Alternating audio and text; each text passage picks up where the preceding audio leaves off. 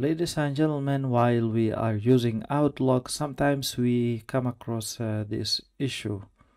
We want to send an email and then we while uh, we are sending it the email gets stuck in our outbox. It doesn't get sent. So how can we fix this? I want to send an email and let's say it calls uh, test triple uh, nine.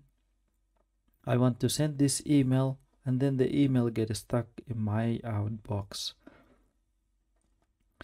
Well uh, there are several ways of troubleshooting this issue. You need to check the internet connectivity and you need to check your uh, exchange. Maybe there is an issue with exchange or you're not connected properly to exchange.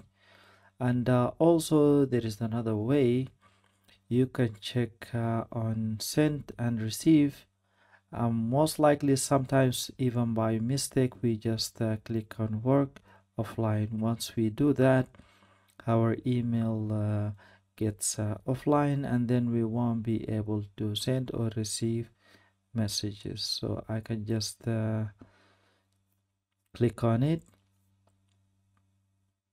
Now it's working online. If we choose uh, to work offline there is a notification message in here it says working offline. If we click on it once again then this one will disappear. Once that happen we can just uh, click on send all.